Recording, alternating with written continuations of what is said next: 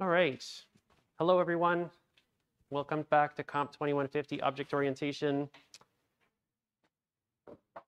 I uh, I don't know if you noticed, but the lights are turned off. the lights are turned off today, and uh, I'm grateful to to someone. I, I don't need to call this person out. I guess don't they don't want to be called out. It was that guy right there. Yeah, he's uh, great. Thank you so much for figuring that out. He hacked into the console, figured out the password. It was a really difficult password to, to figure out. Yeah, it was, uh, the username is armes205. The, the password is armes205. Uh, I don't know why it's locked, uh, whatever. Thank you so much. Thank you. Everyone here, I'm sure, is grateful to be able to see the screen properly. So thank you for that. Um, I also hope that, uh, I, I, don't know, I, I've I listened to the audio of the recording last from last time and it was terrible. It was really bad. I was just super blown out. I turned the volume down on my microphone, so hopefully it's better this time. Uh, but unfortunately, I can't hear the recording of myself while I'm doing it, so it's hard to know what's going wrong. All right, uh, so I hope you all had a great weekend. It's been cold. It's been cold. It is so cold. I don't know why it's still so cold in April, but it's uh, it's not even April yet. It's still March. Today, we're going to keep talking about JavaScript. Uh, we're going to keep doing approximately the same thing that we've been doing for the last couple lectures. I want to spend some time basically working through uh, using JavaScript as a language.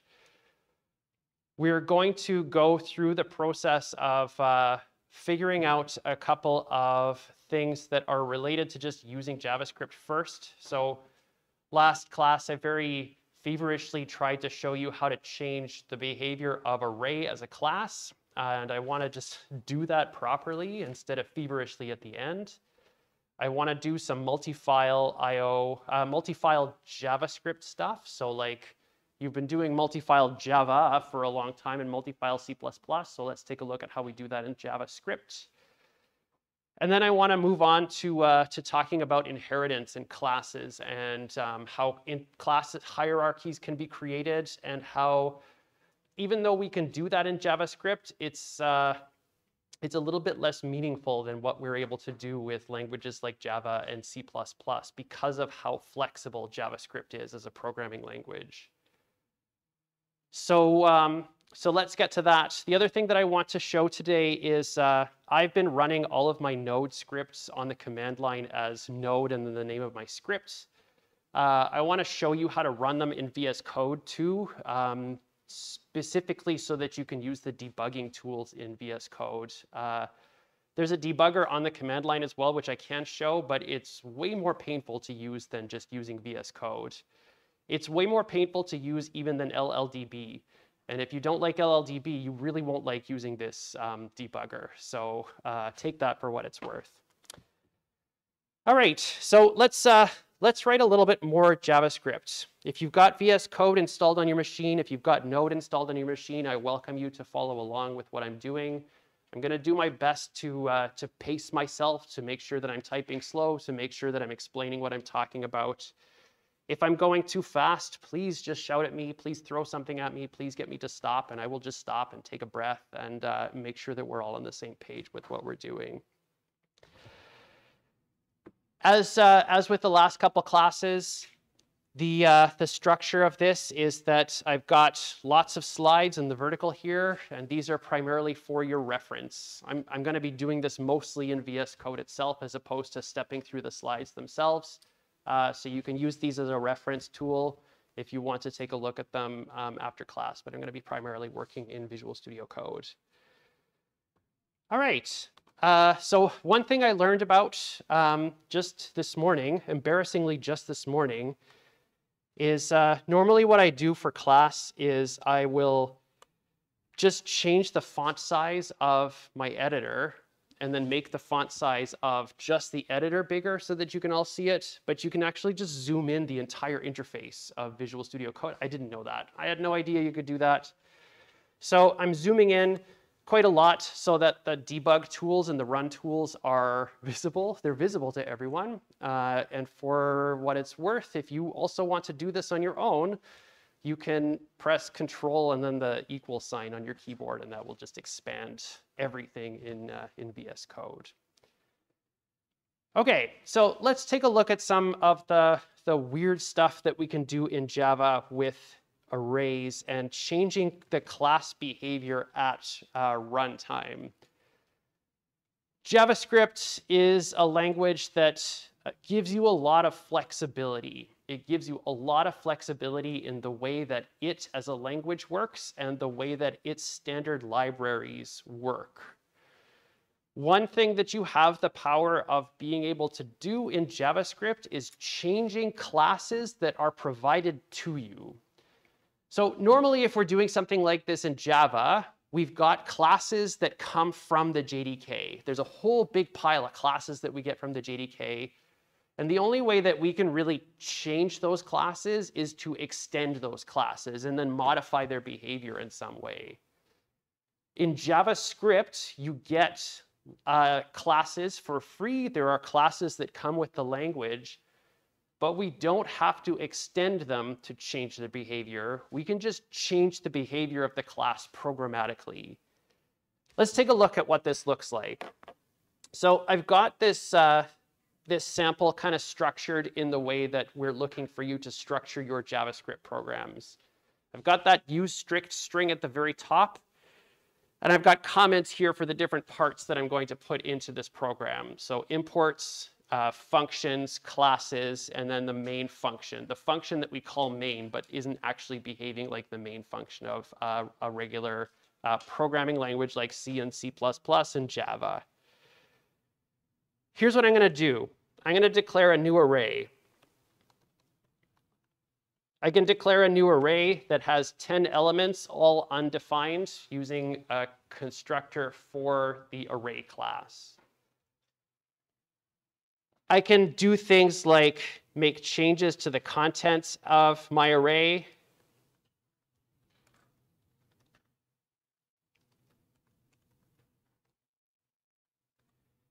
And I can do things like print out console.log my array. I can print out the contents of this array.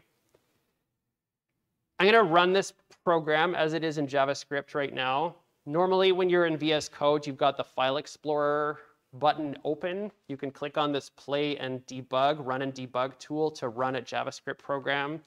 And if you click Run and Debug, it will run the program to completion. So it's not debugging anything yet. It will run it to completion.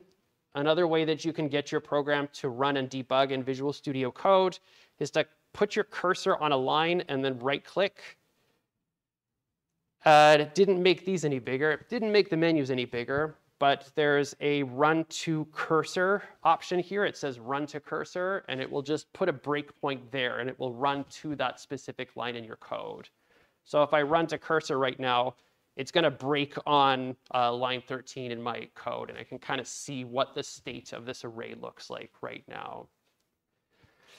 So I can add things to this array. I can do things like I would like to add a new function to this array. I can say things like my array dot print is equal to function because we can just assign functions to properties of an object. This is just something that we can do. And I can print stuff out.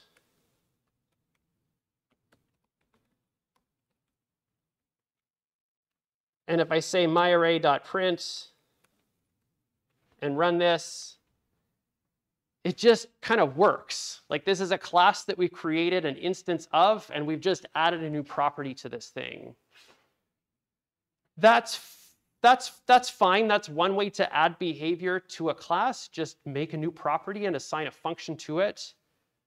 But you may also want to add behavior of a class that get created using a class that you don't have control over. So I'm going to comment this quickly. Add behavior to one instance of a class. I'm going to say here add behavior to all instances of array. I'm going to spell instances correctly. there's a property on classes called prototype. And the prototype is, this is what the class definition is. This is what the class definition is for the language that's been provided to me. I can say this, array.prototype, and I'm going to add a new function here called clear all. Clear all is a function that I want to add to this class. I want to add a new behavior to this class. This doesn't exist on array right now. And I'm going to say it's equal to function. So I'm going to do the same sort of thing that I was doing with my array itself. And I'm going to write a little loop in here. My clear all behavior, I want it to go through the process of setting all values in the array to be undefined. So I'm going to say for let i is equal to 0, i is less than this dot length. In the scope of this function, this is the surrounding array instance that we're referring to. And then I'll say i++. Plus I'll put braces around this. And I'll say this just subscript now. So again, we're referring to the array itself that we're modifying. This at i is equal to undefined. Undefined is kind of like null. And if I run this, nothing's really going to happen because I've added this new behavior to the array class, but I haven't called it yet. I'm going to try calling this function now on my, my instance of array. And then I'm going to say console.log my array. So I'm going to call the new behavior print out to see if it's changed. So I want to see if it's actually made a change to the internal data model that is this array.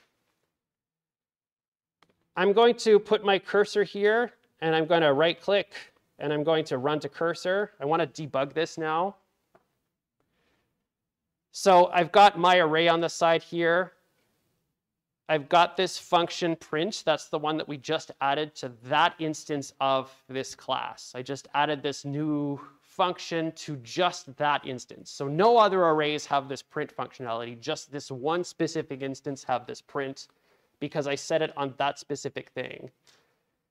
There are some other things that we can kind of see here, like there's these hidden proto entries in my uh, watch list. There's variables that are part of this class instance that are called proto. And proto is the prototype for this class type itself. By adding this behavior to the prototype, I've added this behavior to all instances of array.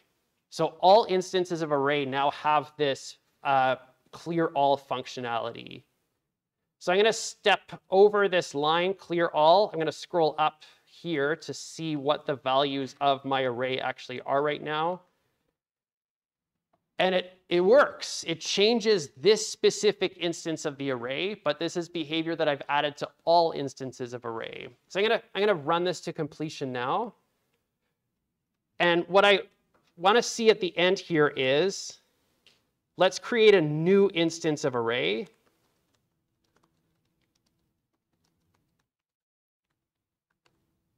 So I'm going to say let my other array is equal to new array. And I'll put, I don't know, two elements in that for now. And I really just want to see, does this one also have this new behavior that I've added to the prototype for this class? So I'm going to say my other array dot clear all. I'm just going to run that if it exists, it should, should just complete. There should be no error messages here. We should just get kind of nothing as output because it will have succeeded in running that function. So I'm going to run and debug. And it works. It runs to completion. So let me step through this. I'm going to scroll back up here. We've declared a new object called myArray, and what we've assigned to that is an instance of the array class. So this creates a new instance of the array class. I've added behavior to just this instance of that class by assigning it this new property that's a function. And I can call that new property like a function. By changing the prototype for the class that's being used to create instances of that object, I'm changing the behavior of all instances of that class. So I can add a new function to the prototype for this class, and now all instances of array after that will have the ability to do this clear all function. And we haven't extended the class. We haven't extended the class. We've just modified what the class's definition is kind of at runtime, which is a little weird. It's not something that we can do in Java tri trivially. We can actually do this in Java, but it's not trivial to do it in Java. I think we can do it in C++, but it's not trivial to do it. Yeah, yes. So this one right here, yeah. So what this is printing out is uh, line. This is coming from line 31 here. It's printing out my array. And what it's printing out here is there's an array that has 10 elements in it. And uh, I'm not sure why it makes this appear as though it's part of the array, but what this is printing out is that there's a property called print, and there's a, there's a function that's attached to it. That's what the f is saying. So the value of that print property is a function. I'm going to click on this no debugger. I can't expand it right now because it's not debugging, but yeah. So what that's telling us is that there's just an additional property on the, on the object that has a function attached to it.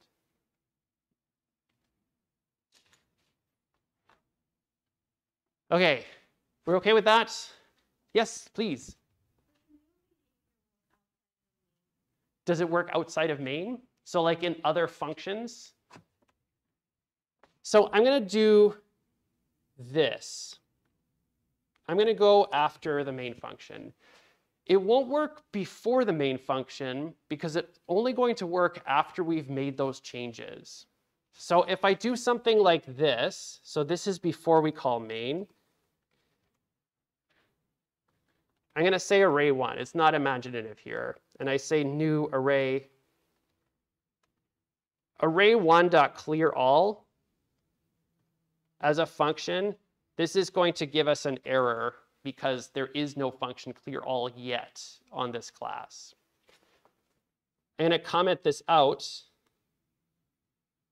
But after the main function, if I say array1.clear all, because the main function, because part of it has made changes to the prototype for array itself, that function exists now and we should be able to have there's no error because we've actually been able to call that behavior.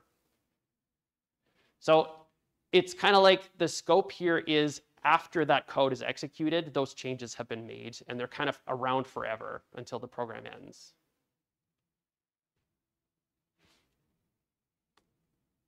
Good question. Thank you for that. Any other questions?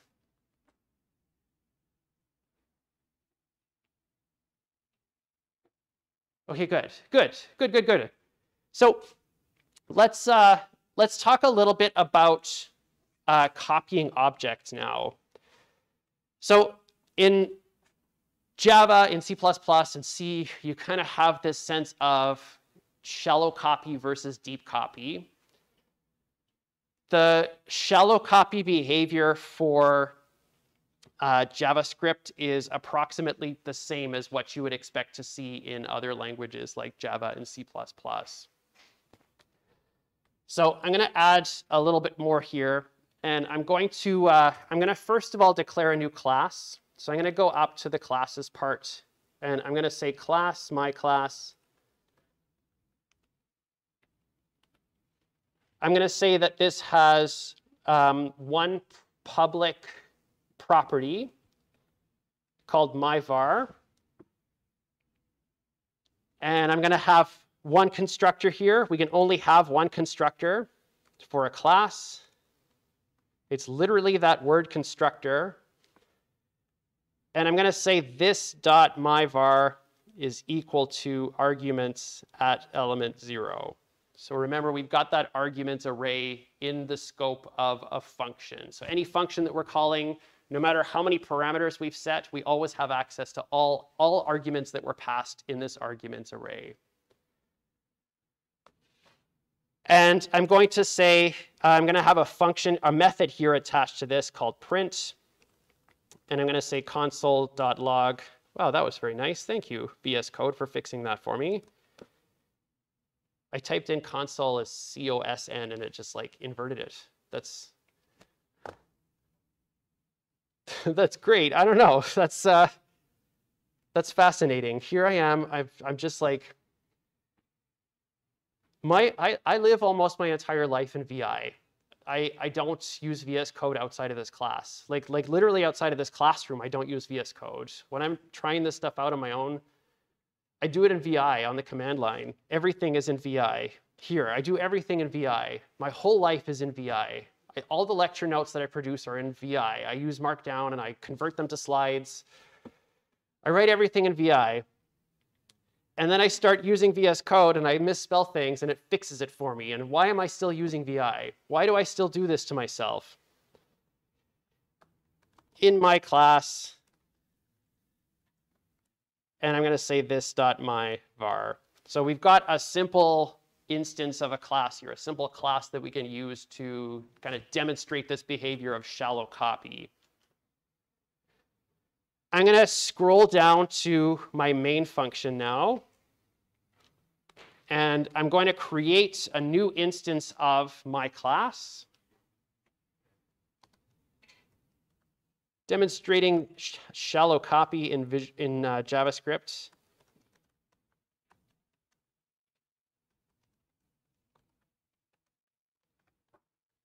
And I'm just going to pass that a number. So my var now has a value of 10.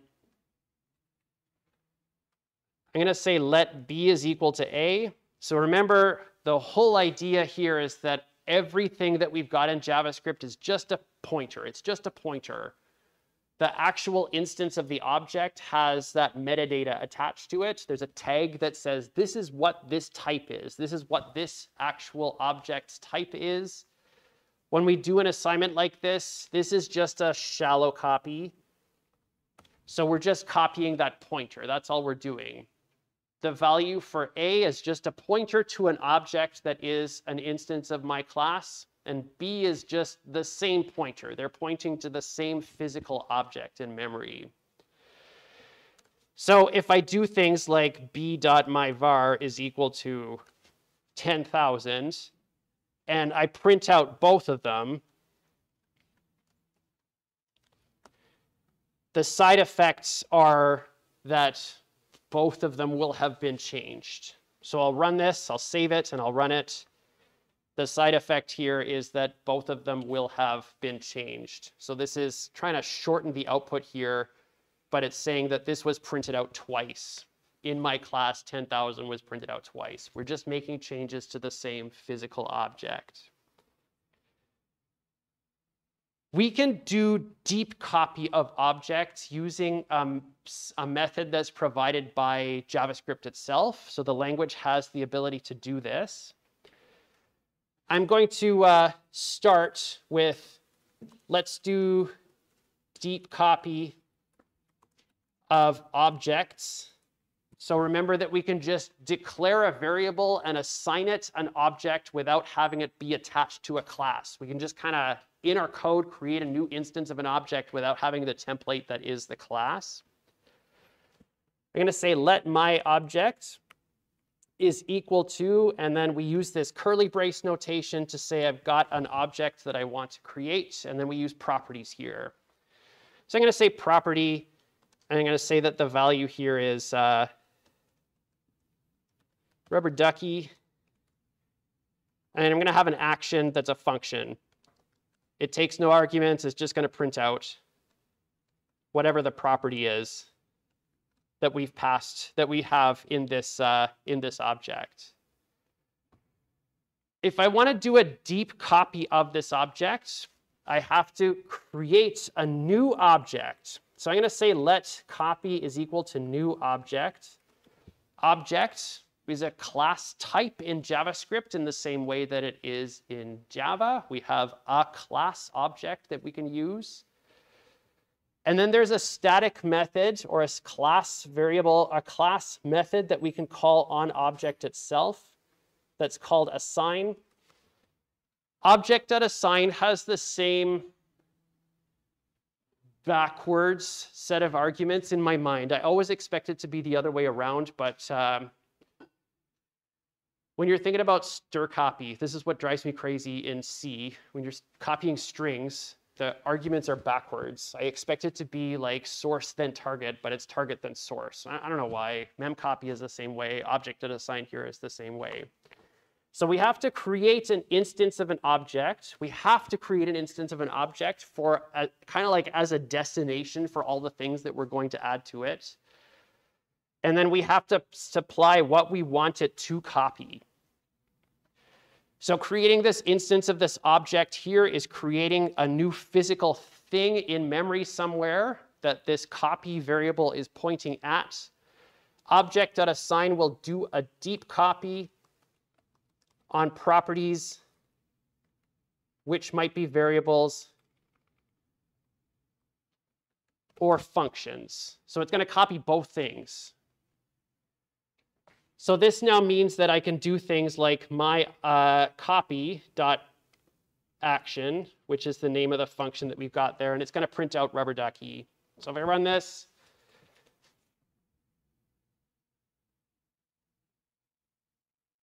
let me open this up a little bit bigger. Property is not defined.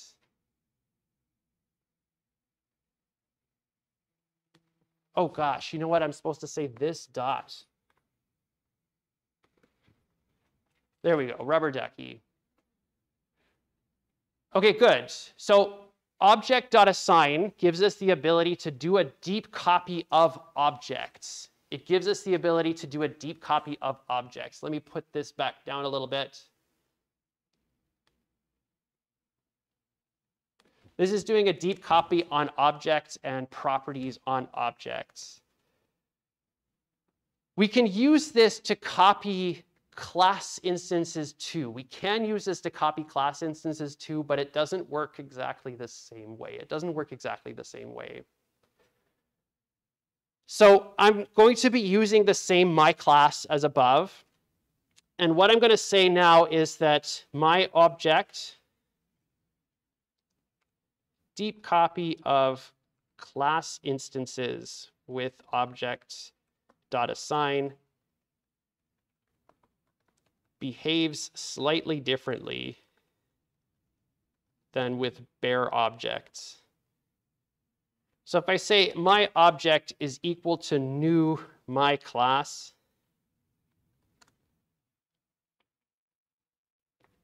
and then I say I'm going to reassign copy to a new object. I kind of want to reset the world here. I want to get it back into the same state that it was in before.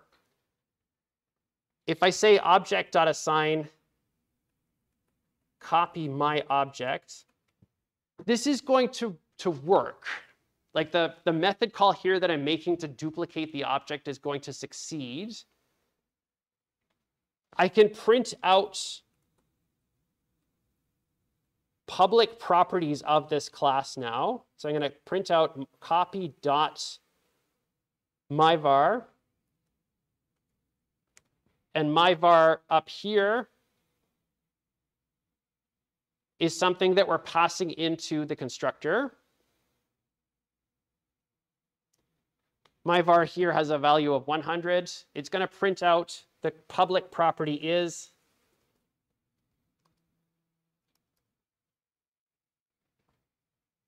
But we unfortunately can't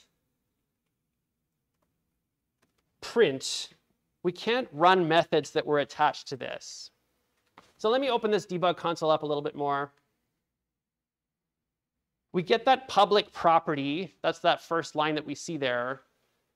But when you're copying instances of classes, it doesn't copy the methods. It doesn't copy the methods. It doesn't copy the methods. There's a way that we can duplicate prototypes of instances of classes but I'm just going to skip that because it's a long-winded way to get to you should just make your own copy function or copy method within a class that you have defined. If you want to do a deep copy, you have to make your own copy method to do that. So I'm going to comment this line out. Object.assign does not copy methods. So that line doesn't work we have to just make our own uh, copy method. So let's scroll up to the my class definition here.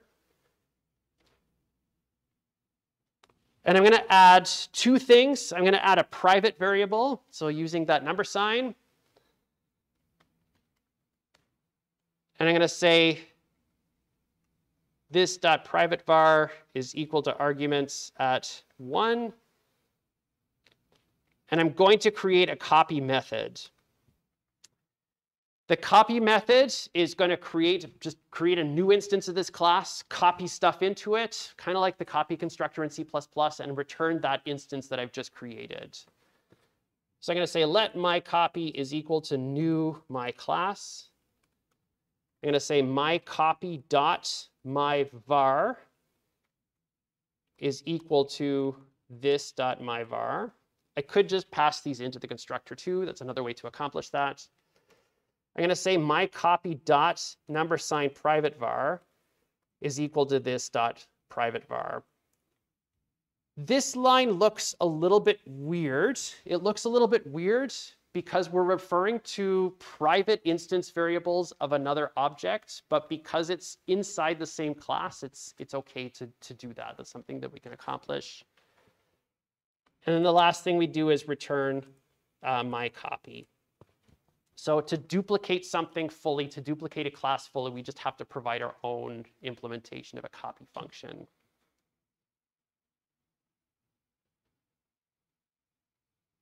All right, that looks okay? Good, good, okay.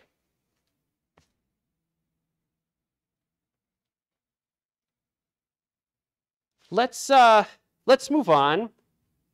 And what I want to do is I want to do uh, just a quick sample of multi-file JavaScript. So when I'm talking about multi-file JavaScript, what I'm basically talking about is I want to have a file that has like a data structure implementation in it, and that's the only thing that it does. Is it just has a data structure implementation in it, and then I want to be able to use that in other JavaScript um, files that I've got. So I'm going to go back to my file explorer here, and I'm going to create a new file. And I'm just going to call this, uh, I'm going to call this my class .js. I'm going to make it all lowercase just to be consistent with the other naming that I've got. I'm going to put this to the side here. So I've got two panes open, and I'm just going to collapse that for now. I'm going to create this file that just has that class in it. That's all it's going to be. There's not going to be a main. It's not going to run anything inside the, the file itself. It's just going to have this class definition. I still want to do use strict. I still want to put that at the beginning of this file to make sure that I am still in strict mode. And then what I'm going to do is I'm going to cut this whole class definition. Just cut it. Whoops. I'm going to hit Control X on my keyboard, and I'm going to paste it over here. Class definition done. Good. Good. Class definition is finished. The way that we are going to tell the language, tell our interpreter that we would like to be able to use this from other files is that we have to set up an array that's called exports. Exports from a file are the list of things that you want to be able to use in other files from this one.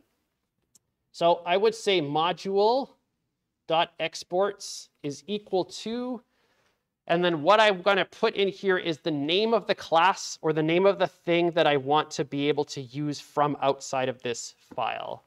So module.exports is equal to my class here says I want to be able to use this from other uh, files. In the file that I want to be able to use this from, so now this is back in the file that we were using before, I need to import that file.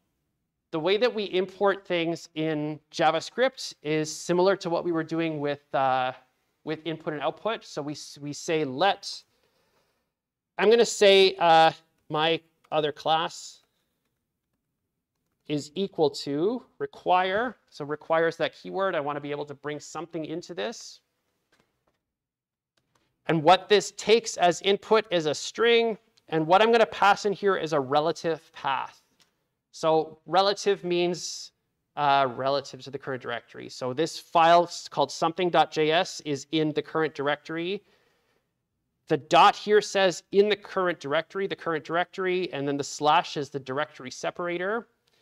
I'm going to say myclass.js. This is going to allow me to bring in other files.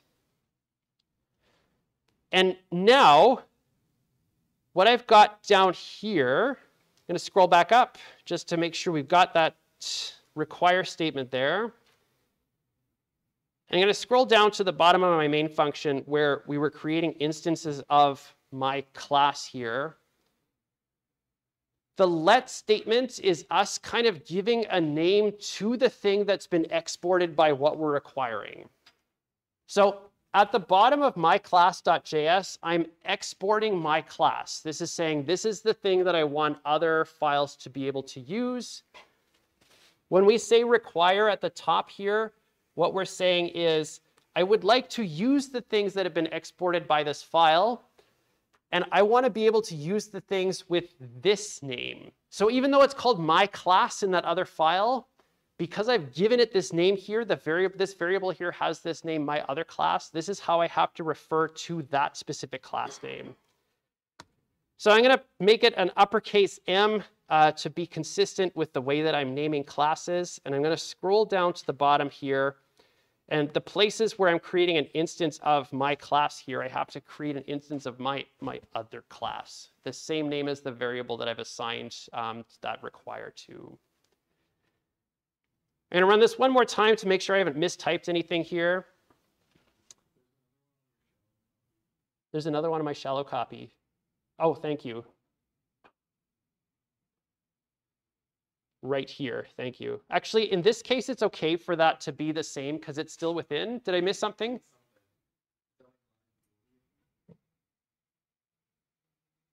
Here, thank you. And it still works. It still behaves exactly the same way as we were seeing it work before. The big difference, thank you for for helping me with that. The big difference is that we've taken that class definition and moved it into its own file.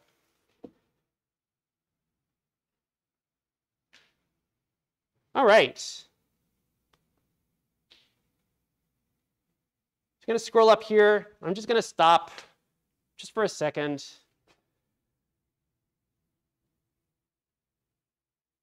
My kids are on spring break right now. And my partner, she's a teacher, so she's also on spring break right now. And I'm constantly getting text messages that are just pictures of them doing really fun things. And uh, as much as I like all of you, I'd much rather be there. Yeah, yeah. So I also went for a bike ride last night because I'm starting to feel really desperate to go bike riding, and it is really icy out. It is really, really icy. Uh, but the forecast is showing positive temperatures.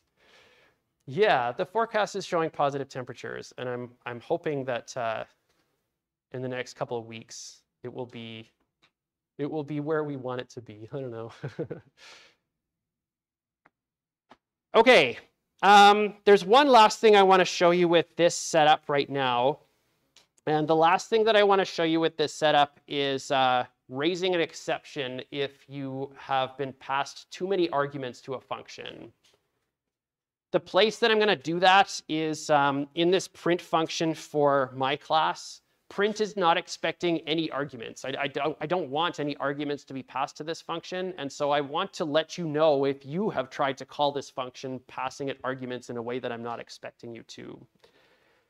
The way that we raise exceptions in JavaScript is the same as it is in Java. It's, it's identical to the way that we're doing it in Java. I'm going to check here to say if arguments dot length is not equal to zero. I don't want any arguments in here. If there are arguments that have been passed to me, I want to raise an exception.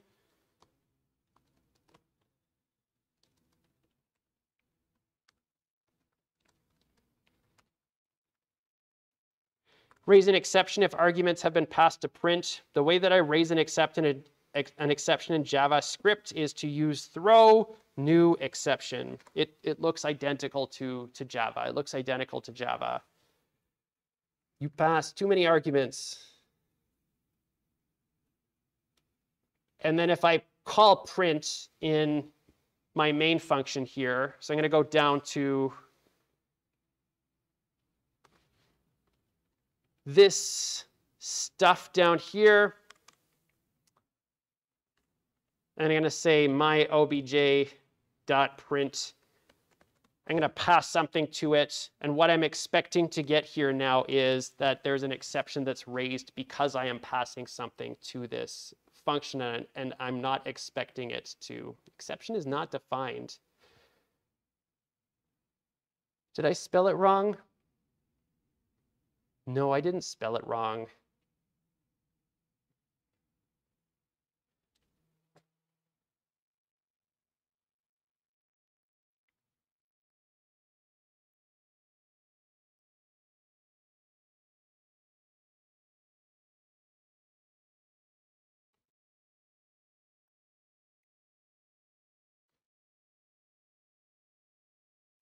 just going to make my own exception. Just going to make my own exception.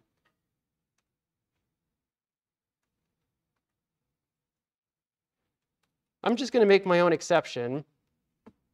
And I'm going to run it again.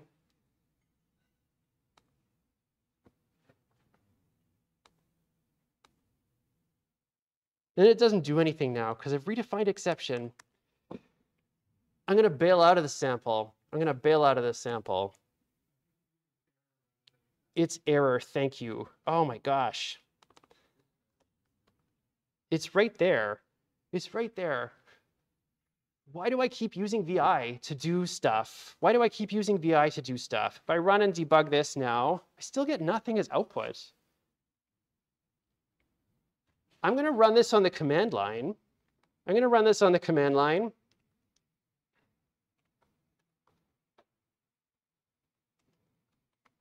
I'm going to make this bigger so that you can actually see it because it's tiny right now.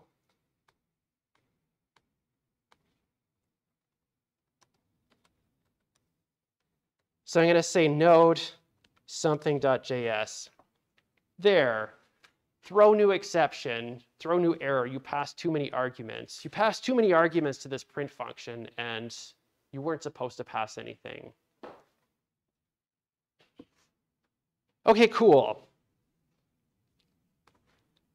I'm going to switch up to here.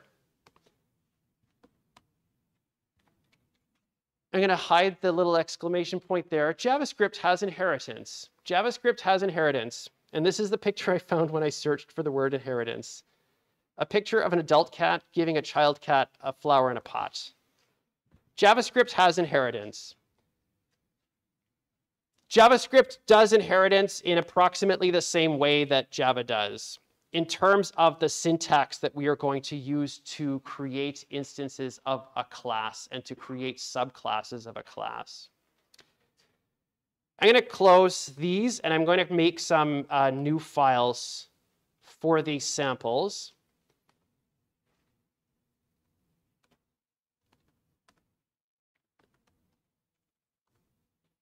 You know what I'm going to do is I'm just going to copy this whole thing and I'm going to paste it and I'm just going to delete stuff instead of trying to retype all that.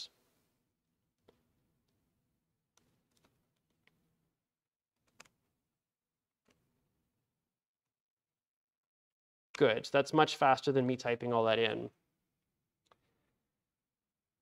Okay, uh, I brought some stuff with me to class today. I'm gonna switch inputs here to the document camera. Good. I brought some stuff with me to class today. This is important stuff that's in my office all the time.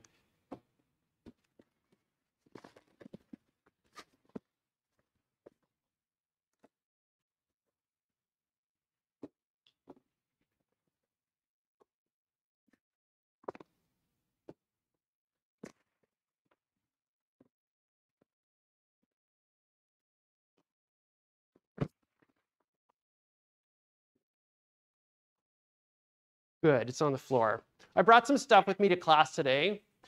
If, uh, if you're watching this later, there's a big stack of ducks on the table here. I got a bunch of rubber duckies.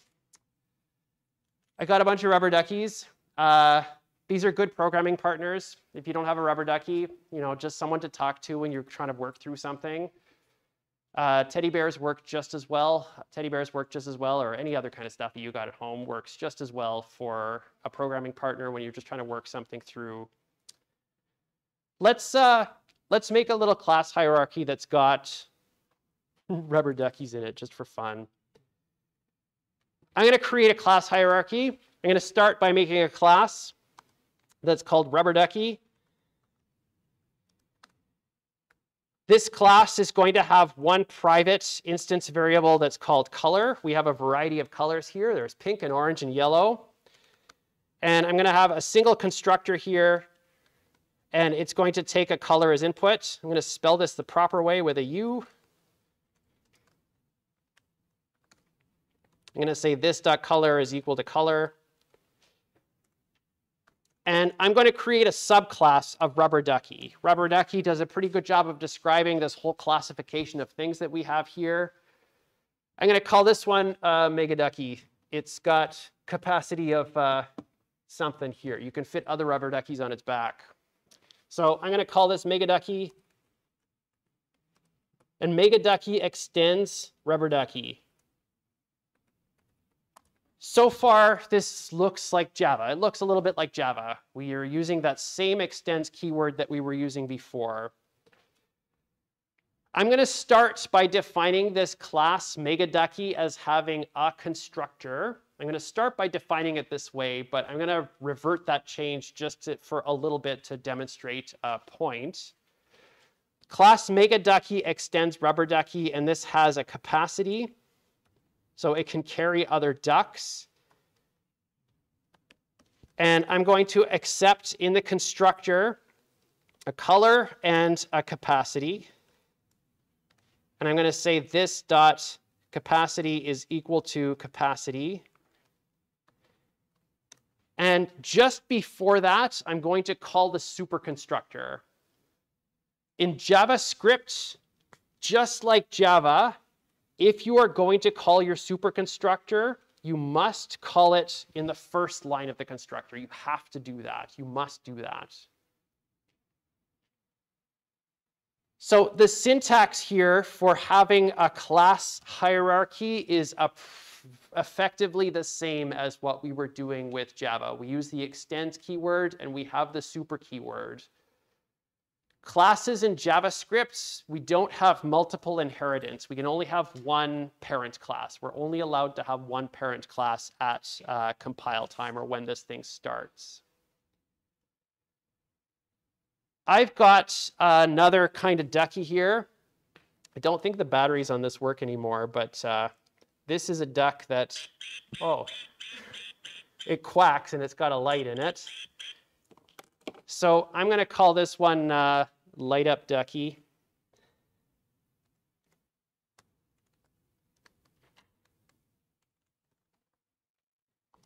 This extends Rubber Ducky.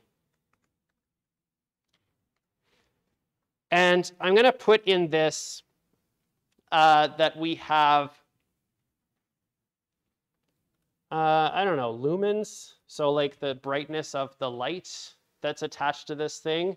And I guess the sound that we make is also a private thing. I forgot that that made sounds and I was delighted when I pressed the button in class. Good, yes. I'm not going to define a constructor here, but what I am going to do is in this constructor for rubber ducky, I'm going to write console.log in constructor for rubber ducky. And I'm going to create an instance of light up ducky in my main function. So I'm going to say let uh, lights light show is equal to new light up ducky. And if I run this, I'm going to try running this, but I'm not confident that the clicking run and debug is going to work because it wasn't working before. Okay, it does work. Even though light up ducky hasn't defined a constructor, because it hasn't defined a constructor, the default constructor that we get from being a class will automatically call our superconstructor. When it automatically calls our superconstructor, there's no value that's being passed here. The arguments array is empty. So if I print out what the color is here, it's going to be undefined. Color undefined. There's no constructor defined for the light up ducky class. And because there's no constructor, the default constructor just calls super automatically on our behalf.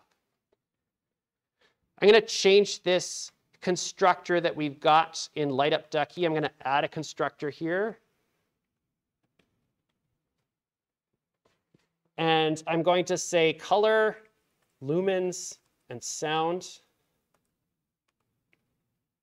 And if I don't call my superconstructor, so if I just say lumens equals lumens, and this dot sound is equal to sound, if I just do this and I don't call my superconstructor, it's an error to not call my superconstructor. I, I, must call my superconstructor if I've declared something as this is a class that extends another class. You must call the superconstructor in a derived class before you can continue. So I'm going to add that. We must call superconstructor, and I'm going to say uh, super color. That will call the superconstructor in rubber ducky and if I run this again, I'm still creating this instance of light show or this instance of light up ducky. It's going to call the super constructor. We didn't pass anything into our constructor here, so I'm going to say, what color is that? Yellow. And I don't even know how to measure lumens. How bright would you say that is? 50? I, I don't know. 50 seems good. 50 seems good. 50 lumens, and the sound that it makes is quack, quack, quack, quack. I'll run this one more time. We're in that superconstructor for rubber ducky with yellow. Okay, great. Methods in classes are inherited. Methods in classes are inherited in JavaScript. So I'm going to go up to super class rubber ducky. I'm going to delete this line. And I'm going to add a print method. And here I'm going to say console.log in rubber ducky with color. In rubber ducky with color, this dot color. And I can call that method on this subclass instance. I can say lightshow.print. Lightshow.print is only going to have what we've defined in the superclass. It has inherited that method that we've got.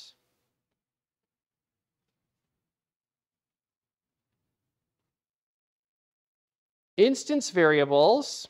So I'm going to go back up to my superclass here, rubber ducky. Instance variables are not inherited. Instance variables are not inherited. This is a weird thing. This is a really weird, strange thing to think about. Because in Java and C++, we've got access modifiers and we have instance variables and we create a subclass of something and it just has those variables. But in JavaScript, instance variables are not inherited. And the reason for this is that instance variables don't technically exist until the class has been constructed. Until the constructor is actually being executed, the instance variables of a class don't exist in this language, in JavaScript. Even though we've declared this as private, as a variable that we can use outside of all these methods, it does not exist until the constructor is being invoked. In Java and in C++, when we call new, we have memory allocated for us. And those instance variables exist because there's memory for them. But only until this line of code is executed, only once that line of code is executed, does that variable on this class actually exist. It doesn't exist before that. There's no memory that's set aside for this thing. The order of operations here is basically when we call this constructor on the subclass, this is kind of step one. We're calling the constructor on the subclass. In the subclass itself, we're in the constructor, but no properties in this class exist yet. There's no instance variables in the class itself the first thing that the constructor does for this subclass is call the constructor on the superclass. And so if we go up to the constructor of the superclass, now the JavaScript interpreter is executing this line by line. The first thing that happens in the superclass is that we add a property to this instance of this class that's called color. It didn't exist before. There was nothing for us to inherit. The interpreter, when we run this program, it starts at the top and it works its way down. And when it reads this class, it's reading all of the methods that are attached to this. So we do inherit them, but because the methods aren't executed until we actually start creating instances of these classes, the instance variables don't, don't exist until we actually do that. So once this method has finished, once the constructor has finished, now we've got this instance variable color. And we return to the constructor for light up ducky here. And yes, the class instance now has this variable that's called color, but it's not inherited because it was never there in the first place to inherit. It's only once we run that code. Once these lines of code execute, now we're adding these properties to an instance of this class. So inheritance here is kind of a little bit different than what we were seeing in, uh, than what we were seeing in Java and, uh, and C++.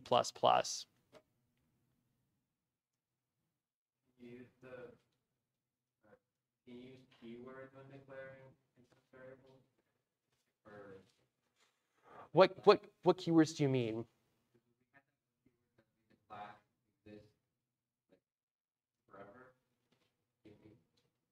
Oh, like var. Is, is that what you mean? Yeah, so because we're not, if we say let this dot color, what that kind of means is that we're saying I want to create a variable that's called this dot color, but it's not referring to this and then the private instance variable color. And because we kind of can't do that, it, like the same kind of rule applies. This would be like asking us to create a variable that's called this dot number sign color. But yeah, yeah. Okay, that's a good question. Thank you. Okay. The other thing that, uh, that JavaScript lets us do is that it's kind of a flexible language. And we can make changes to the inheritance structure of classes at runtime. We can change what class, uh, oh gosh, we can change the class of an object at runtime. We can change its, its parent class at runtime. So here's what I'm going to do. I'm going to say uh, let big duck, big ducky is equal to new mega ducky. So one of these guys here. I'm going to go back up to my mega ducky here. I have color and capacity. So I'm going to say this one is also yellow. and its capacity is these ones. It's two. You can fit two duckies on the back of this one. This is creating an instance of, of mega ducky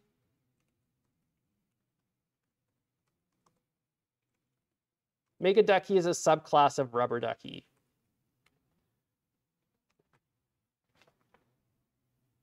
I can also do stupid stuff. This is stupid. You shouldn't be able to do this. You shouldn't be able to do this, but you can. I'm going to say megaducky dot prototype. So this is the same as adding behavior to all of our classes. I'm going to change what the prototype is. I can say that me underscore so remember what I said about private variables before, where there's this de facto standard that is if you prefix it with underscores, that means that you shouldn't be changing it. Variables that are got underscores on both sides mean you really shouldn't be changing it, but you can because it's not actually enforced by the language. I'm going to say that the prototype for this class should be array. What this line is saying is that megaducky is now a subclass of array. Megaducky extends array is what I've just programmatically done here.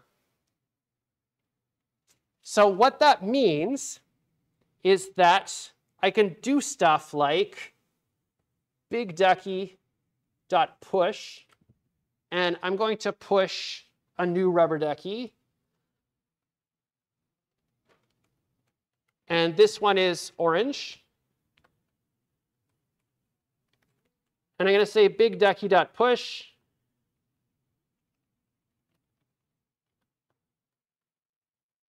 And the other one is, I don't know, what would you call this? Is this pink or magenta? Just pink, pink, pink, pink. It's pink. Array has those methods push. We did not add push to this class before. And now I'm going to change it back. Megaducky dot prototype dot underscore underscore proto is equal to new rubber ducky.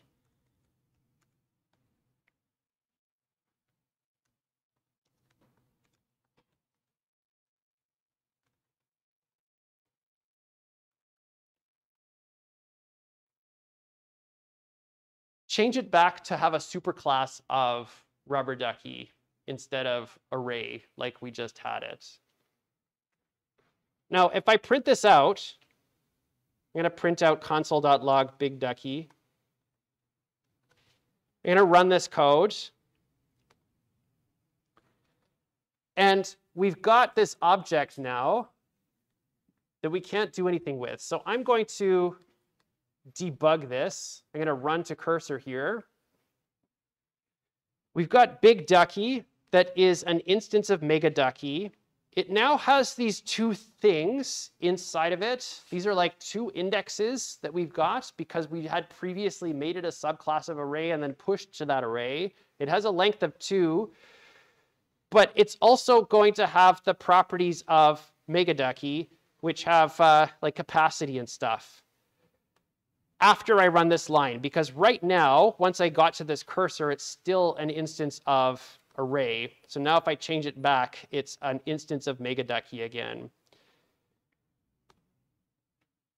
This is one of those things that, uh, that you can do, but there are not a lot of good reasons to do it. It's more like JavaScript is a forgiving language and it lets you do stuff like that.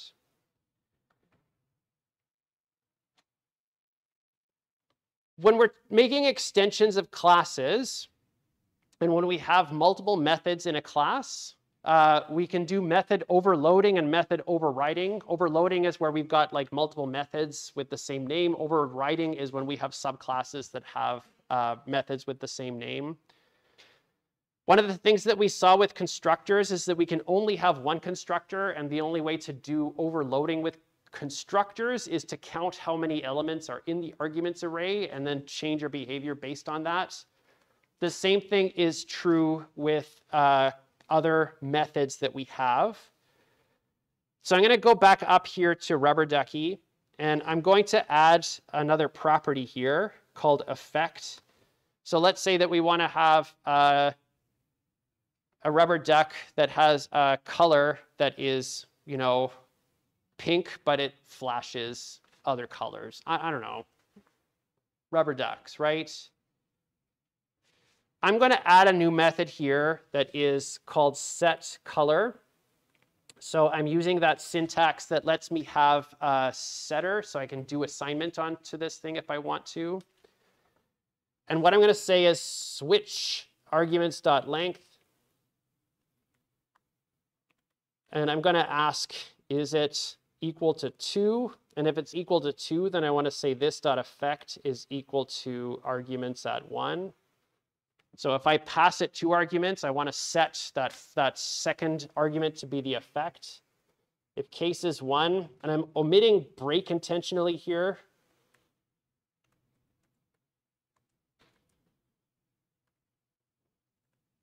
because uh, what happens is we fall through. If we match the first case, it just executes what's in the second case if we don't do a break. The, the purpose of the break is to make sure that you don't execute the next case in the case statement. So I'm omitting break intentionally. We fall through from case 2 to case 1 if case 2 matches. If it's just 1, then I'm going to say this dot color is equal to arguments at 0. And then I'm going to break. I don't want to do the default behavior. And the default here is this dot color is equal to yellow. So you've called me without passing anything. So I want to have a default uh, argument. Okay. Overloading, we have to simulate overloading. Just going to change this to color. We have to simulate overloading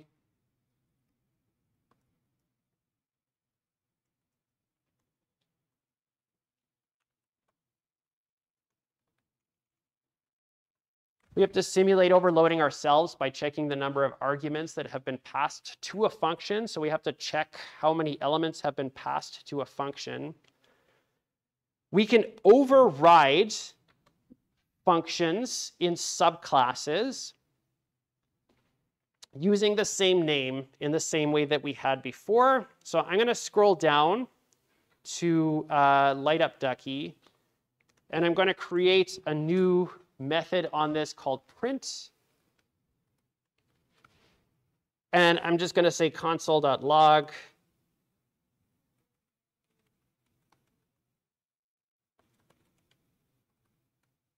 And I'm going to say plus this dot lumens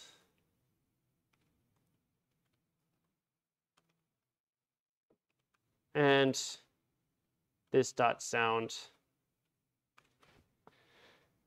This method, because it has the same name, overrides print in rubber ducky.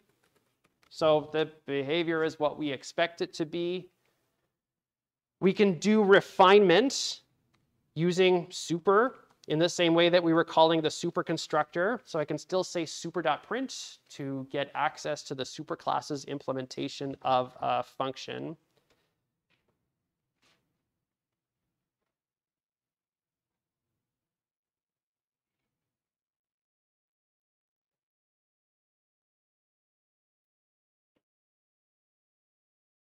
And then I'm going to do one more thing, I think, uh, and then we're going to call it a day. Actually, I'm going to stop here for a second. Um, one thing that we talked about when we were doing extension in classes in Java and in C++ was this idea of, uh, of covariance and contravariance. So with covariance, remember we've got a supertype and a subtype and we've got a method that has the same name, so we're overriding it in a subclass. But the subclass implementation has a more specific type than the one in the superclass. So we've got object.equals and then other object, and then the subclass we're defining like dot equals, but with the name of that specific subtype.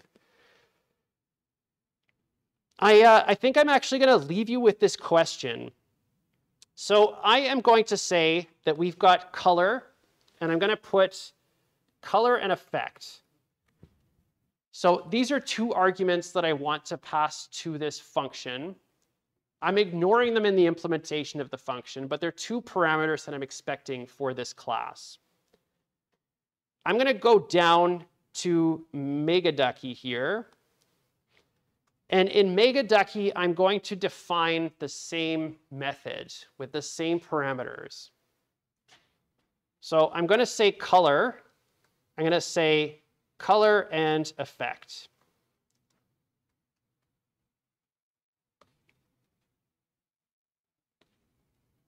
With covariance and contravariance, we're looking at the type.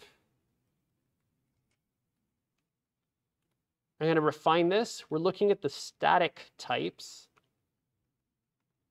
of the parameters for the, for the methods between the superclass and its subclass.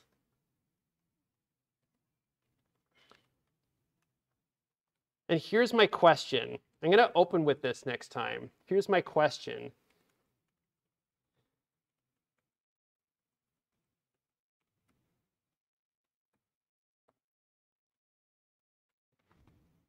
Can, can we have covariance or contravariance in JavaScript? I don't want an answer yet. I don't want an answer yet. Hold your thoughts. Think about this for a little bit. Covariance and contravariance were very specifically about the static types that we have on arguments or parameters that are being passed into methods between a superclass and its subclass. I'm going to leave it with that. I will answer this question, though. I will answer this question, but I want you to think about it. This is such a weird picture. This is such a weird little picture. You should, at this point, be able to create and use classes in JavaScript. You should be able to create and use classes in JavaScript. You should be able to write multi-file JavaScript programs.